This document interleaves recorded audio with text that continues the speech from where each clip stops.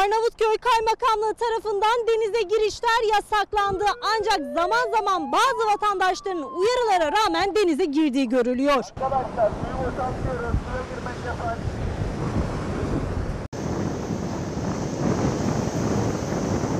İnsanları uyarıyoruz yasak var diye.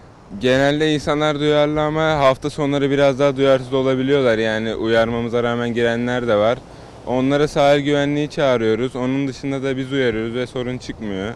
Sahil güvenlik geldiği zaman mecbur çıkıyorlar zaten yoksa ceza kesiliyor. Ee, boğulma tehlikesi geçiren var mı? Evet vardı. Geçen 9 yaşında çocuk gitti. Onu aldılar bizim arkadaşlar botla.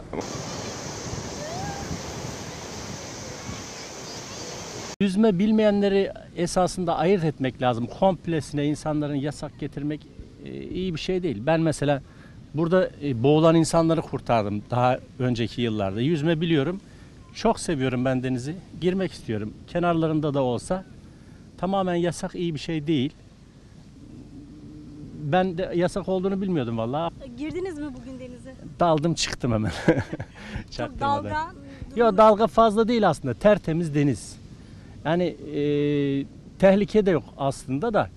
Tabii hiç yüzme bilmeyen insan e, yanlışlıkla içeriye doğru kaçarsa o zaman tehlike olur.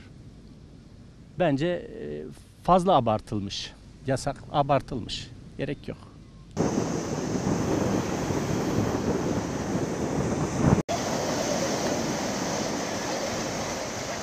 Görüyoruz nereye girdik. Yani buraya geldik. Yani ben tehlikelere içeri girmem.